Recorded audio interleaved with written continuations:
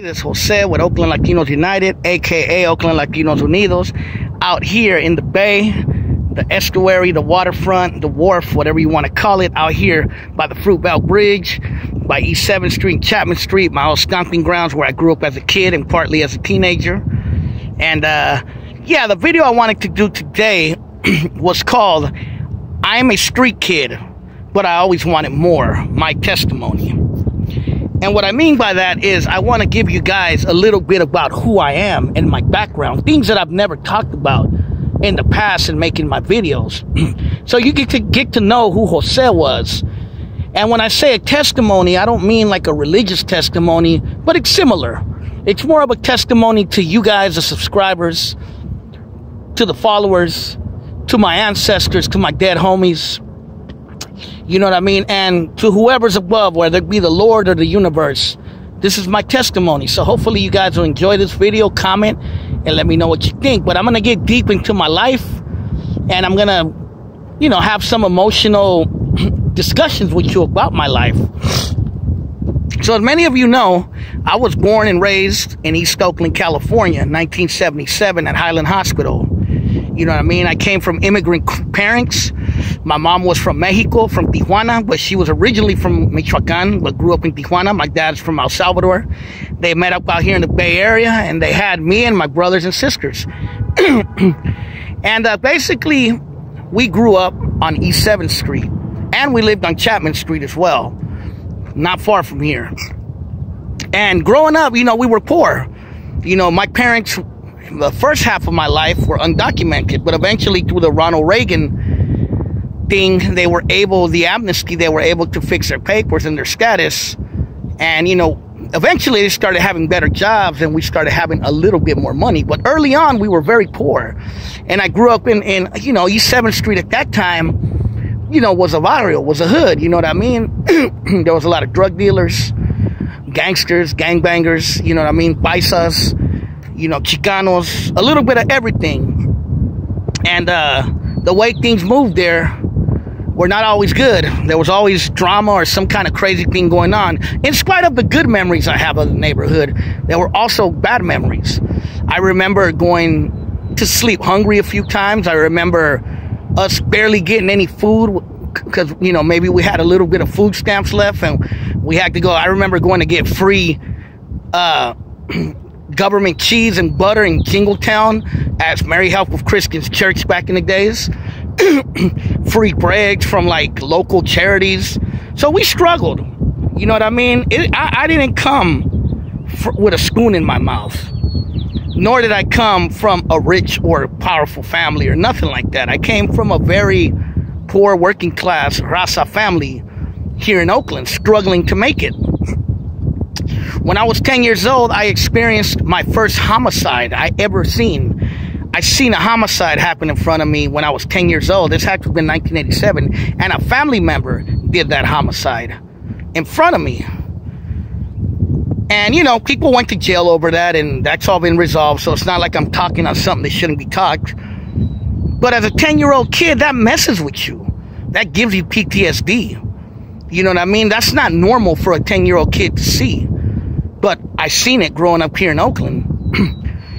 and you know, I knew a lot of people in the hood who by, by, by as time went by, they were going to jail, they were getting killed, etc. You know what I mean? And then we moved to Sacramento when I was 14. That was about 1992. and the same thing. I go to Sacramento and I experience the same things gangs, drugs, poverty. And then I moved to Vallejo same thing gangs, poverty, drugs. I live in Richmond for a time and I come back to Oakland for a time. Gangs, drugs, poverty. So everywhere I would go, even when I would visit family in SoCal, it was always the same common denominator gangs, drugs, poverty. You know what I mean? People hustling, people doing what they got to do to survive. And I always see my raza, my people, and the black people in that same struggle because I grew up around a lot of African Americans as well. And, uh, you know, I always say that I'm a nerd and I'm not a gangster and I don't have nothing to prove. And that's true. I'm not a gangster. And I never portrayed myself to be a gangster. But I am a kid from the barrio. I am a kid from the hood. You know what I mean? I grew up with Vatos Locos. I grew up with crazy homies. You feel me? I grew up with dudes who were active and dudes who were selling dope and dudes who were hustling. You know, those were the people I was around. Whether I was in Oakland, whether I was in Sac, whether I was in Vallejo, Richmond, I even had a really good homie from Concord. You know what I mean? Who was an active homeboy. Really good friend, my homie D, who passed away a few years ago. You know, he was deep in the game hustling. So I started hustling. You know, I started shoplifting. I started doing what I had to do to make a little bit of money because I liked having money. I liked having cars and I liked having women around me. So I felt that I had to do what I had to do, whether it was hustling some things here and there, stealing some things here and there.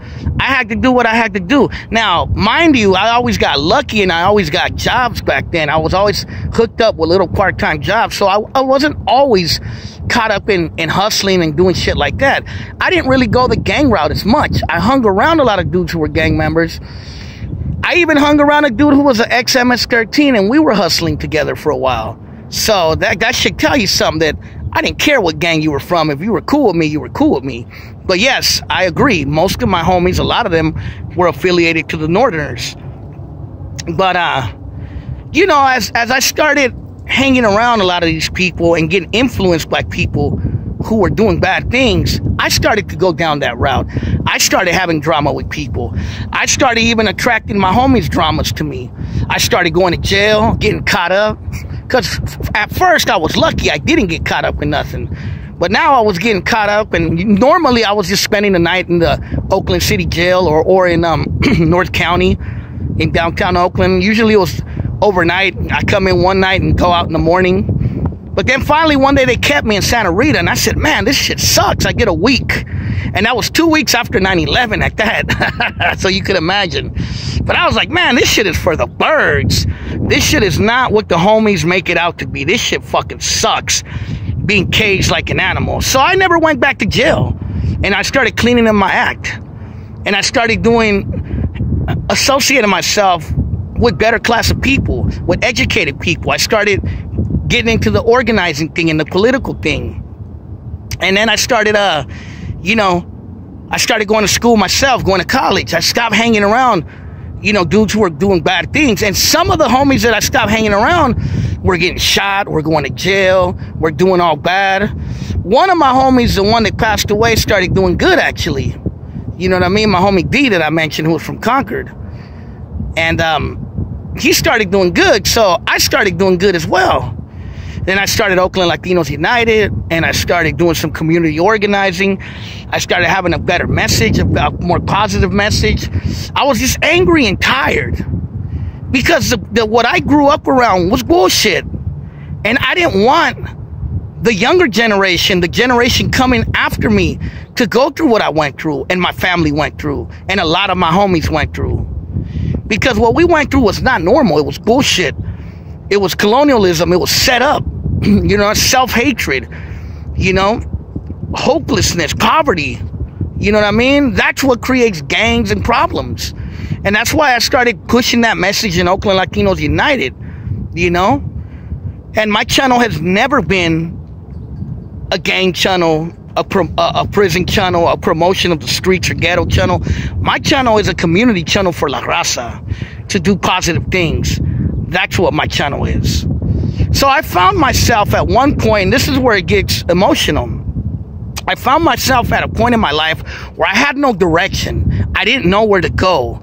I was scared. I was confused. And I fucking literally had like a nervous breakdown. I started crying. I started not thinking about suicide per se, but I started thinking, what if I was dead? Maybe the world would be better without me. Maybe my family wouldn't have the burden of having me around. Because I wasn't working, I wasn't doing, there was a part of my life where I wasn't doing anything.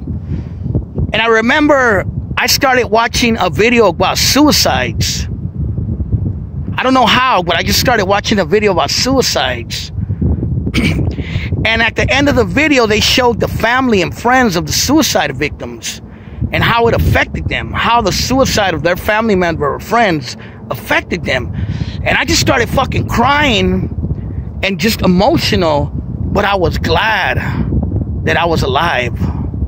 And I was glad that I realized that if I were to die or kill myself or anyone was to kill me, there would be a huge burden on my family. Not only to bury me, not only to you know, to spend money for my funeral, but the emotional trauma it would leave on them, period. The scar it would leave on them. So I was glad that, that night I finally reflected, man, I survived the ghetto. I survived, you know, being around gang members. I survived, you know what I mean, hustling. I survived all kinds of shit. Because really, guys like me, Chicanos from Oakland and from the Bay Area, we don't live past 21 sometimes. And here I am. At that time, I was about 30 something. I'm 43 years old. And I'm alive. And I'm here to talk to you guys. And I'm so happy I'm here because there's so many people, so many around me, and even people that I didn't know that are not here to tell that tale, man. That are dead and gone. You feel me? So, the point is, I had a realization that I wanted to do better. And I shit you not, the next day, I had more confidence. I started getting work again. I started learning about music and getting into music. I started doing my channel again. That's why my channel restarted a few years back. And I've been trying to improve the channel. And I've been trying to send a positive message to just stay away from the bullshit because it's not going to get you anywhere you know? And yes, Jose is a street vato. I'm a street dude. I'm a dude from the barrio. You could even say I was a vato loco at one point. You feel me?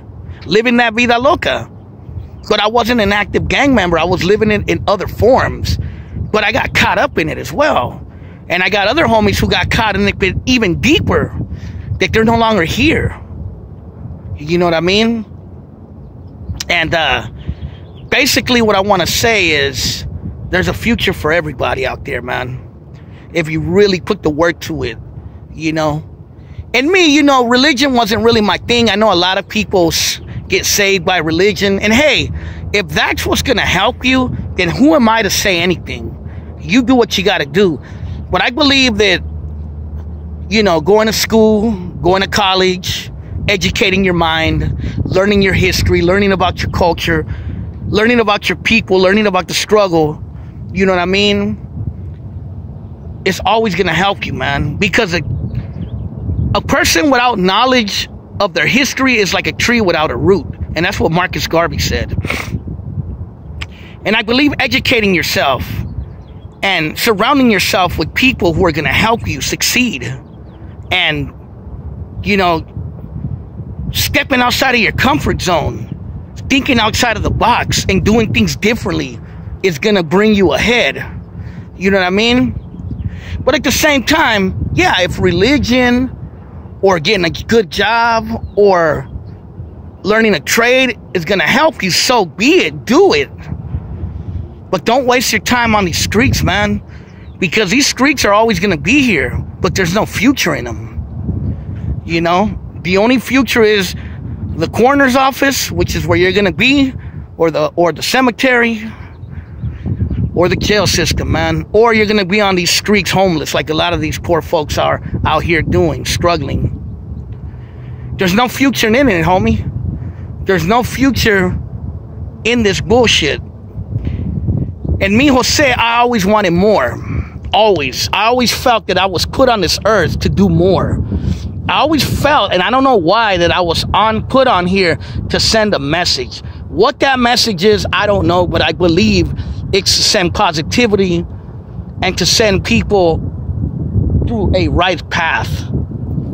And I don't I may not have much. I may not be the most famous YouTuber. I may not be the most famous musician because I do do music. You know, I may not be the most famous dude in the hood.